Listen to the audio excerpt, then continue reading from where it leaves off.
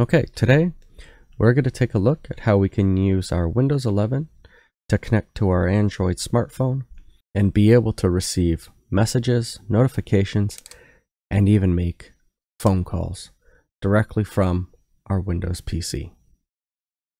Let's take a look.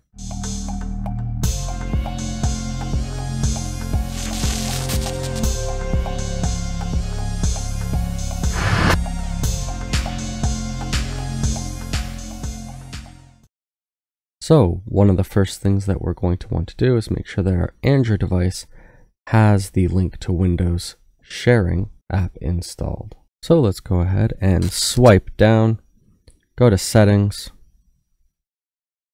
We can go to apps, search at the top, and we will type in Windows. And we'll see here, link to Windows service. We can select that.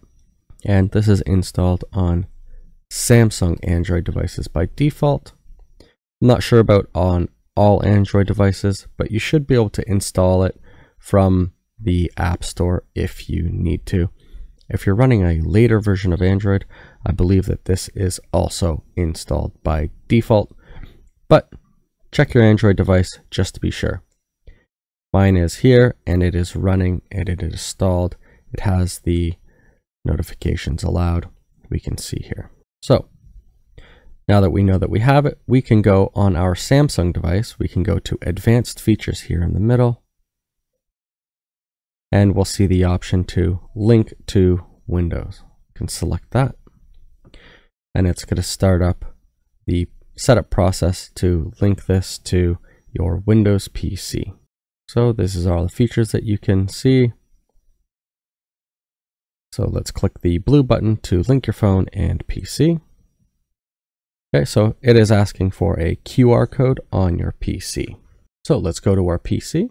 So we're here in Windows 11.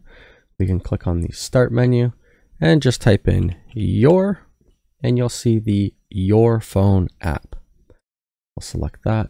Okay, so once the app opens, it's going to give you a preview of the things that you can do just like it did on the phone. Let's click Get Started. And here we will need to sign in to our Microsoft account.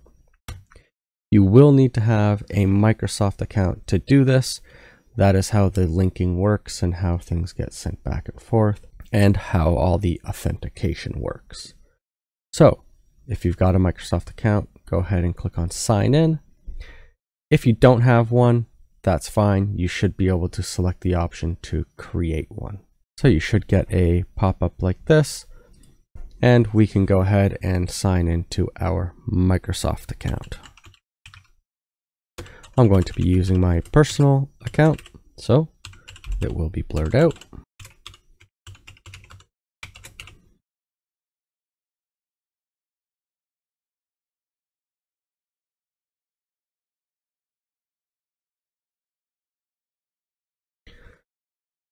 So once we're signed into our Microsoft account, we can go ahead and pair our device.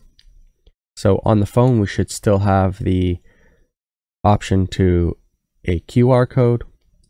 Select the check mark for I have the Your Phone companion link to Windows app ready.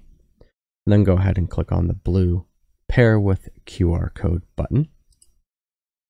And then also on your phone, select the option to continue and allow the Your Phone companion to take pictures only this time.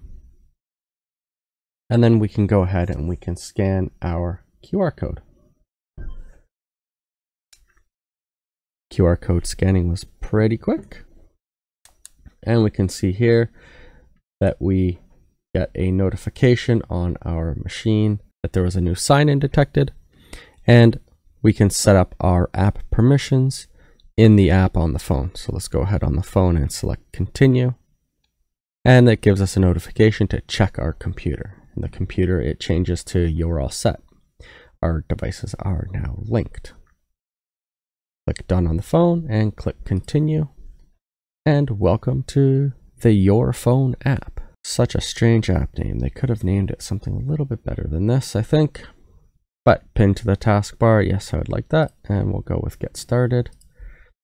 And we can see here we have in our phone, the TechWorks Windows 11 machine has been added. Our Microsoft account is there. We can use mobile data and link to Windows is turned on. So our phone is connected.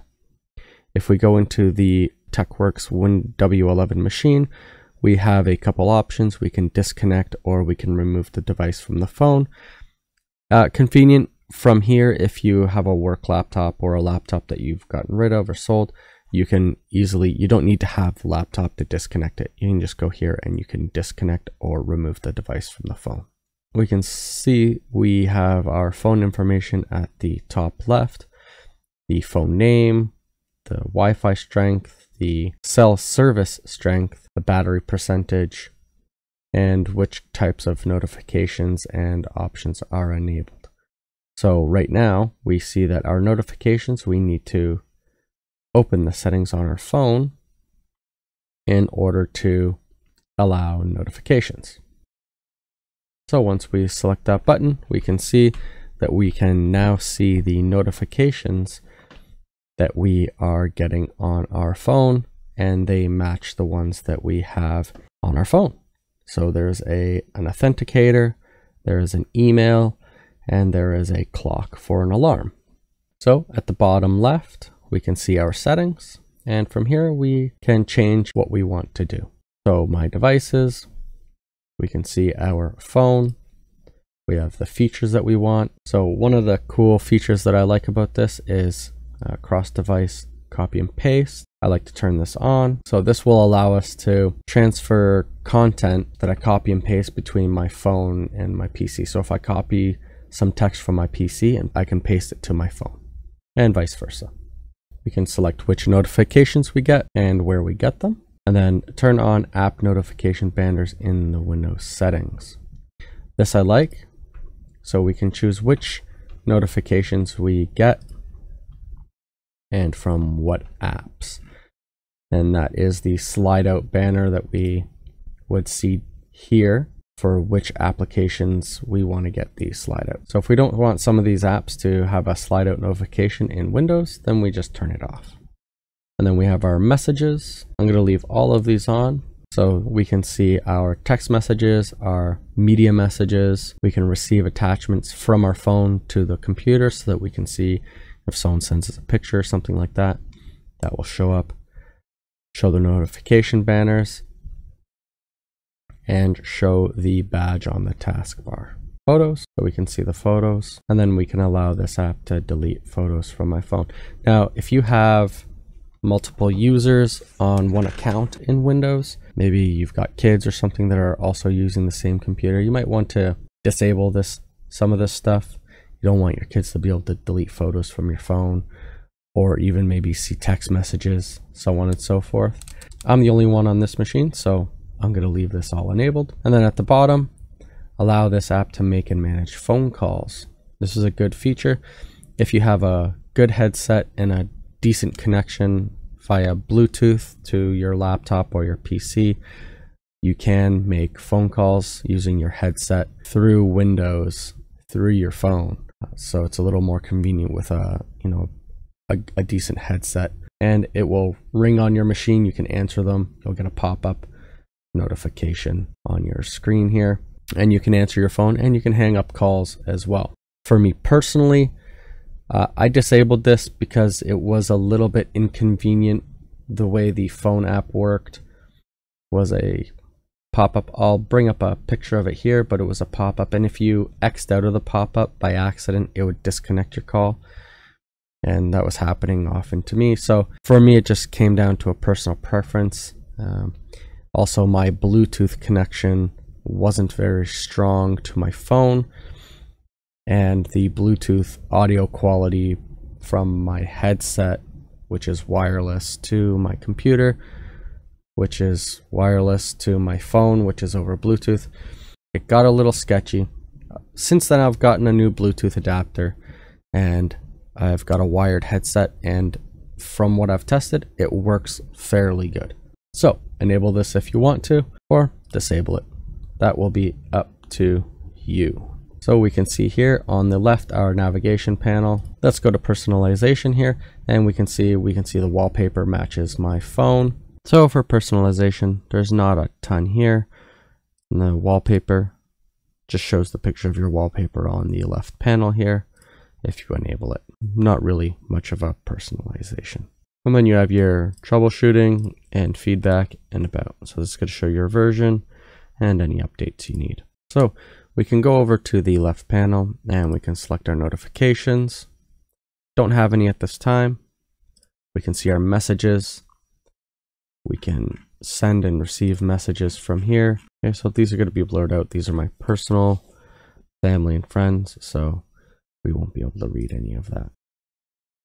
Okay, and if we go to photos, we can see all of the photos from the phone. They will sync up and link you should be able to right click on them and open them, copy them, save them, share and delete.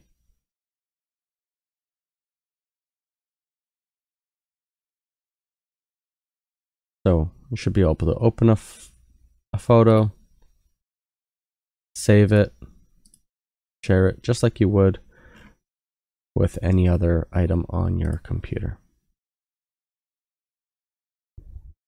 And if we click on the phone there, we can see that on our actual phone, we'll get a pop-up to start recording or casting with your phone. And we can say start now.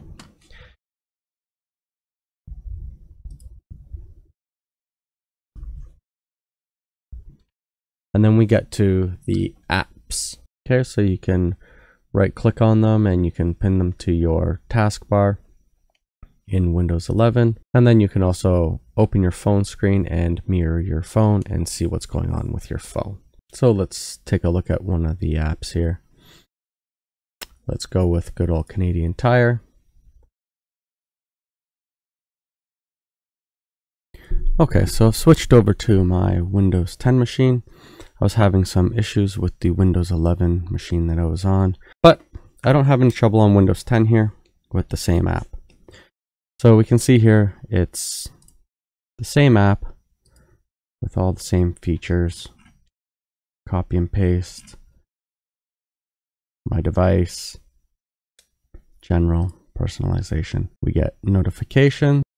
Don't have any on the phone right now. For apps. Works just as well. So we can, let's say, let's open up, uh, let's open up Canadian Tire. We click on it, loads the screen, and there we go. We can use our mouse to scroll up and down. We can select, and it's just basically emulating the screen on our phone.